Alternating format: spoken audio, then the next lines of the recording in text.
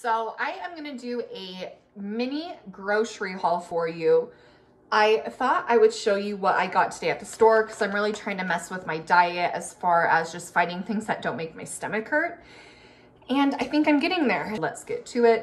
Um, I'm gonna start with fruit, bananas, I have watermelon, I have some Honeycrisp apples. Fruit usually doesn't bother my stomach at all whatsoever.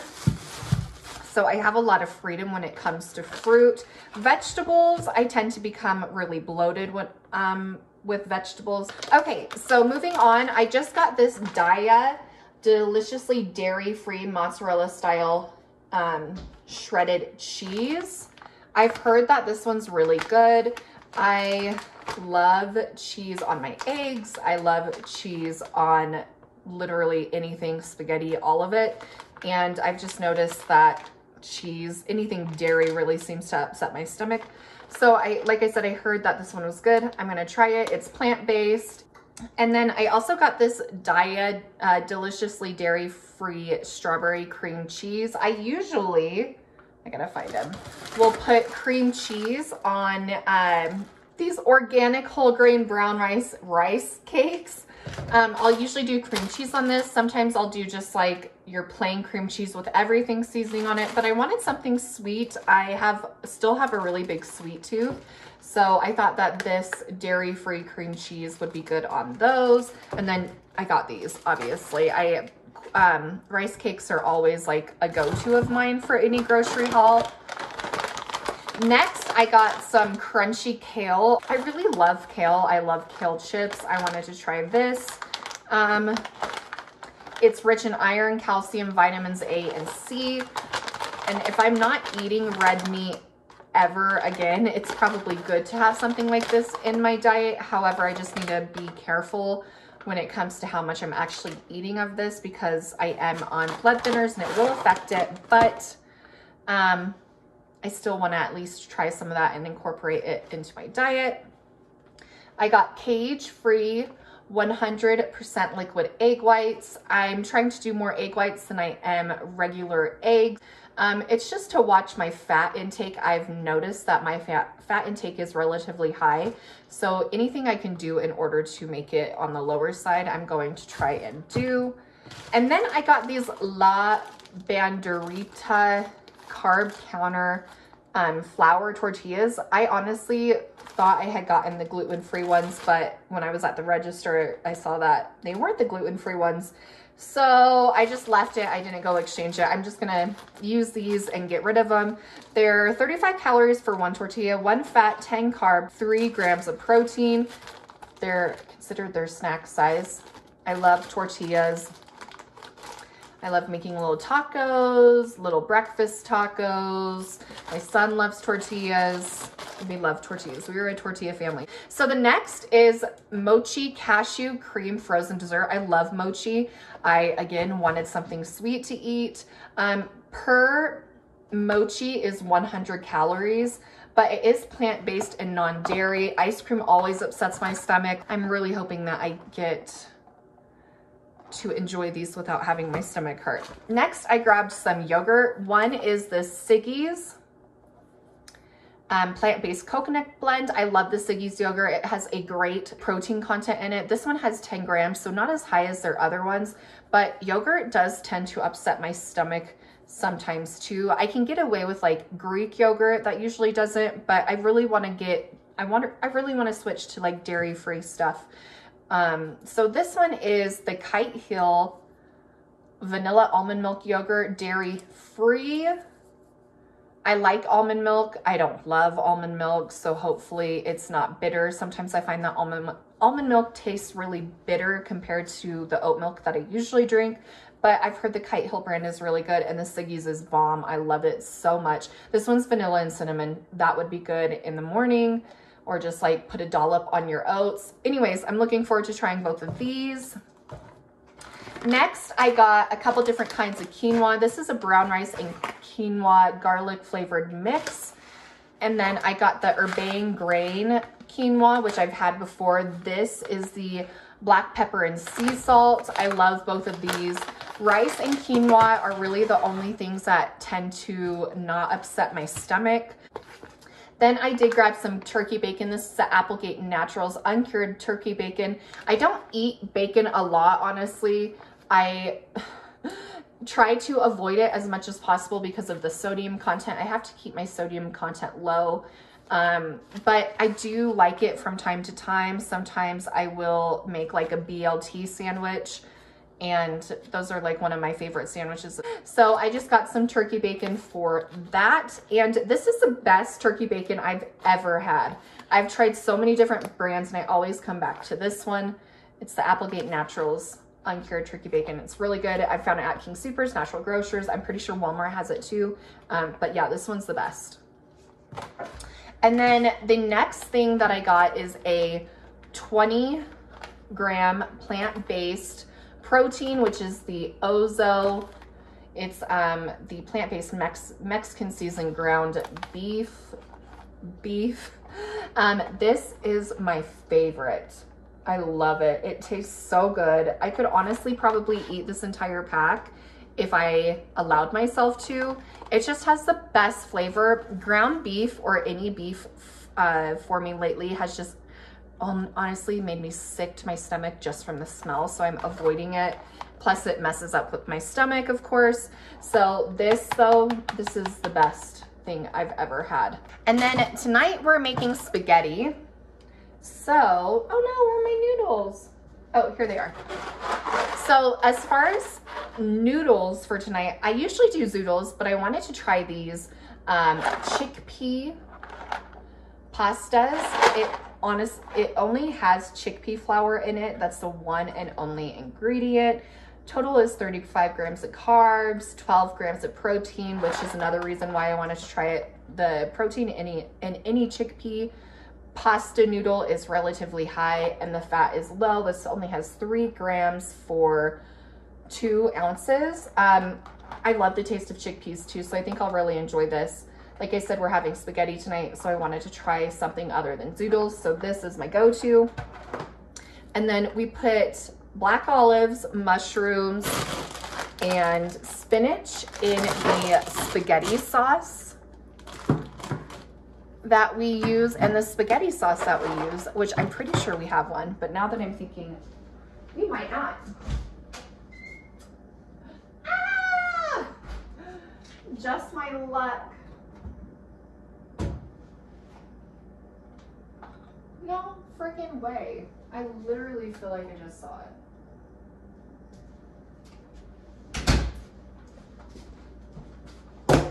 We don't have spaghetti sauce like I thought we did, but we use the Rao's brand. I will um, throw a picture up on the screen for you of what we get. And that is by far one of the best, if not the best spaghetti sauce that I've ever had. Minimal ingredients, low on the sugar. Spaghetti sauce tends to have a lot of sugar in it and I just try to avoid that. So next I got is the Lily's extremely dark chocolate, 85% cacao, stevia sweetened, vegan, dark and rich. I cannot wait to try this. I've heard nothing but good things about Lily's chocolate. I love dark chocolate. Like, give me the most bitter piece of dark chocolate and I love it, which is crazy because, I mean, I love all chocolate though, but dark chocolate is by, by far my favorite. Next is a Nourish Bowl. I got a couple of these. Last time I got these, I really liked them. They kind of smelled a little funky, but they tasted awesome. This one has cauliflower, kale, cole, Robbie sweet potatoes, black bean with chipotle, corn salsa, and shredded cheddar cheese. I realize that the cheddar cheese is not vegan or dairy free. However, it does come in a little packet so I can skip that and put the mozzarella on that um, I bought. But these are just really good, super quick. The carb on it is relatively high. It's at 34 grams. But uh, my plan is to throw some of these veggie chicken strips on it. These are probably some of my favorite veggie chicken strips. They are the Morningstar um, veggie chicken strips. There's 23 grams of protein in the serving of chicken strips. So this is my plan is to throw these together. These are just really good even without chicken in it, but I just wanted to up the protein on this guy. So it's gonna go from 23 grams to 34 grams. And we love, we love the protein. Okay, this is kind of a really like big haul. I didn't realize that. I got a lot of stuff for myself when I went to the grocery store. And I know I'm the only one that's going to be eating it because my, no, my family just won't. So this is a plant-based chicken patty. I've never had these before, but I love, I really do like chicken. However, it does tend to upset my stomach. And I don't know if necessarily if it's because of how it will, you know, how it's cooked when I eat it. Um, but like, even if I get a uh, chicken from the, oh my gosh, like a whole chicken from like Walmart, from like, I want to say their bakery, there's deli section, geez. Um, it upsets my stomach after I eat it and I just don't know why. I don't know if it's the oil, I don't know if it's how they cook it, I just don't know if it's the chicken itself, but it's happened before even with having chicken from other places, so it might just be chicken. And so I'm gonna um, try this chicken uh, plant-based chicken patties with my new seasoning.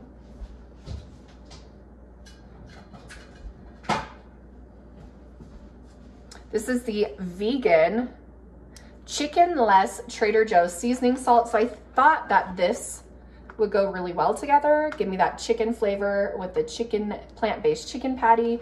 Um, Emerge is a really great option for plant-based items. So I, I positive I'll probably like this. And then I got the Beyond Meat, Beyond Sausage. This These are plant-based links. This is a brat. I love brats. For the longest time I hated them and then I finally started eating them again. But the fat and the pork and whatever they're made out of, even if I do a beef brat, my stomach hurts. So I'm hoping this is what I need in order to enjoy a nice brat. So this is gonna be going down. I bought some red potatoes, two to go with the Beyond Sausage for a meal. I love red potatoes. They are my favorite. Next is the Cece's Veggie Co. Buffalo Cauli made with organic cauliflower. This is gluten and dairy free. It's a low carb item. I love buffalo wings, so this is a great alternative. I love buffalo sauce. Like, I just love it. And I love cauliflower took me a lot of years to eat cauliflower because one of my teachers in middle school told me that a certain a certain STD looked like cauliflower and it like I hate I, I was like what the fuck?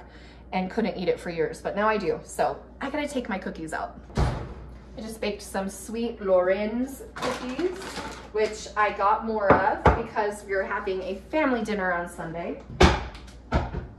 And I offered to bring desserts. And I keep telling my dad and my stepmom about these and they wanted to try them. So I bought the fudgy brownie cookie dough, cookie dough sweet Loren's cookie for Sunday. They are gluten-free, dairy-free, plant-based, peanut and tree nut free. Honestly, cookies tend to upset my stomach and these do not. The sugar-free ones I've never tried before, but my kids love sugar cookies, and we have extra frosting in the cabinet, so I figured they could decorate them if they wanted to. Um, but the, uh, the calories on these, yes, one cookie is 110 calories, but it really does feel guilt-free. My husband also really likes these too. He's he loves his cookies and so it's nice that we found something that we can all enjoy together. The bread that I usually buy is a Dave Killer's bread. For a long time I would buy the Sara Lee whole wheat 45 calorie calorie bread and honestly it just like was so blah after a while so I wanted to switch back to Dave's Killer bread. This bread is so good. It's thin sliced, 70 calories for one slice. I wish they, if they have a gluten-free bread from Dave's Killer Bread, let me know. I've looked a few places for it, but I haven't seen anything, but maybe the places here just don't have it. Um, so if they do have a gluten-free one, let me know, guys. I would love to I would love to buy that one instead because I imagine it's probably just as good as this bread is, but this bread doesn't really hurt my stomach, so that's why I know I can have it. The Sara Lee didn't really either. I just got bored with it. It just, it was so bland. Next I got is the original Oatly milk. I switched from almond milk to Oatly milk because almond just, almond milk just started tasting really gross to me. And I love oat milk. I love it. It is so good. It's so, it tastes rich. It's super guilt-free for me. I mean, I just, I love it so much. I don't really drink it by the glass. I will put it in my oats. I will put it in coffee or tea. Next, I got strawberries, raspberries, blueberries, blackberries. I didn't get any of the fruit or organic just because I'm fine with not having organic fruit, but I love berries on my yogurt. I love berries on my oatmeal. I could just eat a bowl of berries. All of the fruit and veg, like fresh vegetables that we buy tend to be gone by the end of the week when we get them. Like those are one of the things that I have to stock up on constantly besides like bread and milk. So I actually don't mind that either. Um, it makes me really happy because I know they're just like not eating a bunch of junk. Moving on, I got this probiotics to support immune health. Cocopina Sunset. It has coconut water, organic pineapple juice, and blue spir spirulina. Kind of looked good. I wanted to try it. It looks like juice. So we'll see.